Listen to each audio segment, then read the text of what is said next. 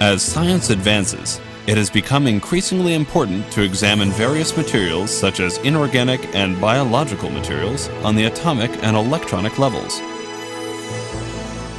In order to study atomic structures, however, it is necessary to use light that has a wavelength shorter than an atom.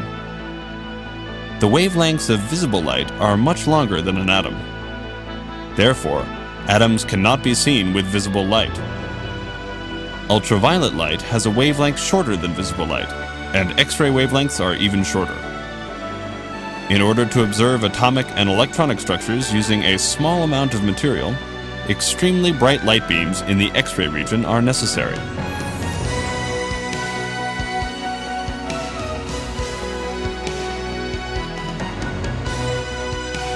SPring-8 generates these bright light beams with short wavelengths, which allows scientific research to be performed in various fields at the atomic and electronic levels.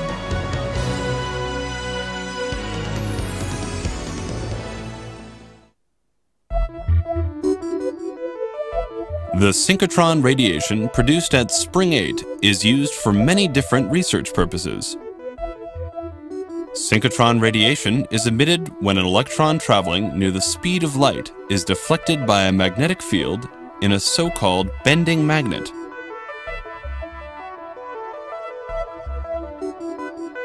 The emission occurs tangential to the electron orbit and is highly directional and polarized.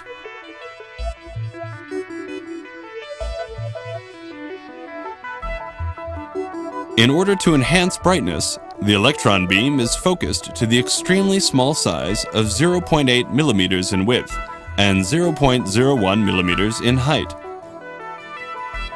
Now, let's compare synchrotron radiation produced at SPring-8 with other light beams. Due to its emission in the same direction from small-size electron beams, synchrotron radiation in the X-ray region has brightness far greater than sunlight in the visible region.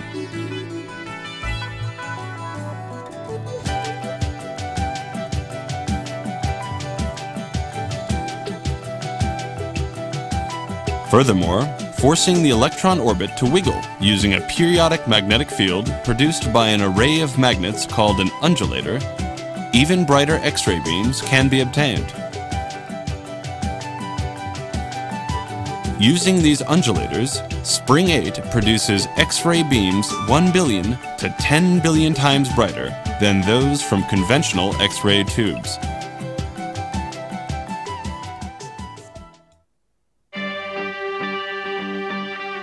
At SPring-8, electrons generated by an electron gun are accelerated to 1 GeV by a linear accelerator.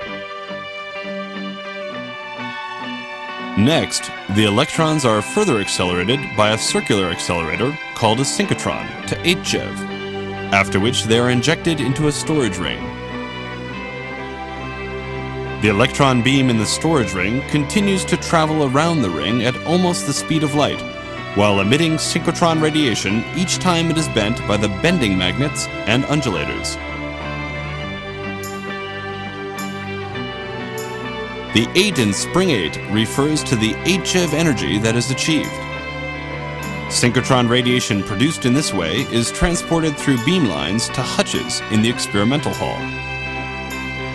The experimental hutches are equipped with various measuring apparatus, one captures images formed by the transmission of synchrotron radiation through a sample.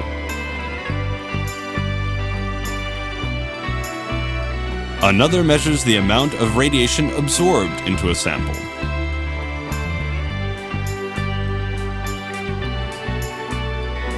A third apparatus analyzes radiation that is scattered or diffracted from a sample.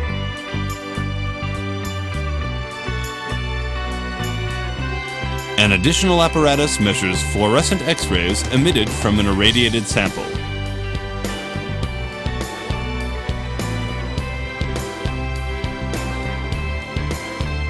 Yet another detects photoelectrons emitted from a sample.